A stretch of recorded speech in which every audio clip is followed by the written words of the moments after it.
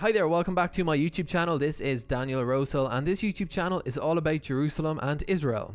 Today I decided to keep rolling with these good old Canva animations and share a little about the demographic makeup of Jerusalem as it stands in the year 2023 when I am recording this video. We'll take a look today at how many people live in Jerusalem, how many Jews live in the city compared to Muslims and those of other religious belief systems, and why, at least if statistics are to be believed and compared to the national average in Israel, Jerusalemites might be summed up as poor but happy. Over the years, Jerusalem has changed hands more than a dollar bill in a thrift store. So I'm going to put together a whole separate video talking about the history of Jerusalem, at least its demography. But for now and today, we're just going to concern ourselves with the present or at least the very recent period of history. In the year 2023, Jerusalem is the most populous city in Israel, and it's of course also the city that Israel claims as its national capital, although international recognition of that fact isn't full, and if you're really interested I talk about that whole shebang in another video. According to 2022 figures from the Central Bureau of Statistics, the CBS, which is Israel's national statistics body, the city has 971,800 residents, so just sort of a bit shy of a million. Tel Aviv, by contrast, has about 468,000 residents, so less than half a million. Although that number gets a lot bigger if you count the various commuter towns surrounding Tel Aviv. But just counting the urban areas, this means that Jerusalem's population is actually slightly more than twice that of Tel Aviv. Of course, Tel Aviv has a cool coastline, great beaches, and Jerusalem doesn't, but we have more people.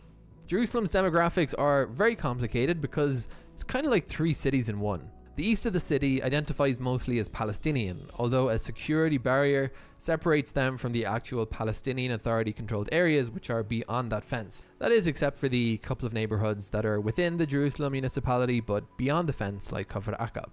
Nothing about Jerusalem is actually straightforward.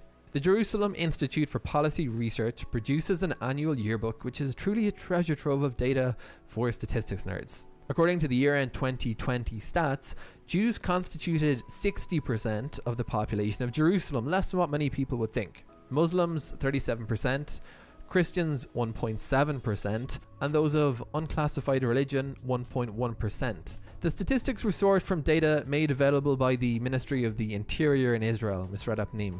Looking at the historical data, we can actually see that the percentage of Jews in the city has been declining over the past decade. In 1988, for example, 72% of the city's residents were Jewish. The Jewish population is also split along religious lines. Some of the city's Jewish residents self identify as Haredi or ultra Orthodox.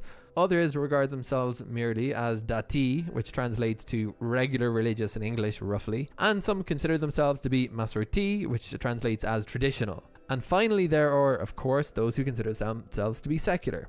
According to 2022 CBS figures, 35% of Jerusalem's Jews consider themselves to be Haredi, 22% consider themselves to be religious, 25% define themselves as traditional, and 18% define themselves as secular. That combination, ultra orthodox, orthodox, and traditional, together yields 82%. So popular conceptions that Jerusalem's Jewish population is largely religiously observant are actually pretty much true.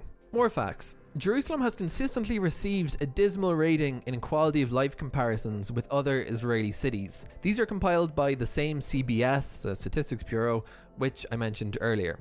The survey uses a number of benchmarks to assess residents' quality of life, and in both 2019 and 2022, Jerusalem ranked last among Israeli cities in terms of its quality of life. Every year, the CBS publishes this data online in a media release. The benchmarking process includes looking at quality of life indicators like the level of cleanliness in a city, the quality of drinking water, and the levels of cancer among both men and women. In 2011, we can see that Jerusalem's residents were happier than the national average with their work life balance. 77.4% of Jerusalemites liked the balance versus 63% on average nationally. I guess you could say that it's easy to be satisfied with your work life balance if you don't have a job. The full graphic showing how Jerusalem compares against national averages across all measured quality of life estimates is available on page 30 of the PDF, which as usual, I will leave a link to in the description. Just be aware that the info is available in Hebrew. We've all heard the saying that there are lies, damned lies, and statistics. So to wrap this video up, I thought I'd throw in some conflicting statistics which together make absolutely no sense. So in total conflict with that picture, we also have data from the Jerusalem Institute for Policy Research, which I mentioned earlier, that indicates that Jerusalemites are happier than those in other cities. According to 2020 figures, a remarkable 90% of Jerusalemites, or 9 in 10, said that they were satisfied with their lives, slightly higher than the national average of 88%, which already seems kind of remarkably high. Writing for the Institute's blog, Shira Nachmani suggests that the explanation for this apparent paradox might be as follows. While Jerusalem's economic plight remains overall quite poor, employment options and salaries relative to the tech nucleus of the country in Tel Aviv are extremely limited. Jerusalemites are finding happiness and satisfactions in other domains of life like family life, their sense of community, and of course, religious observance. Thanks for watching another video. Hope this one's been interesting. If there's a topic you'd like to see me cover, feel free to leave a suggestion in the comments. Until next time.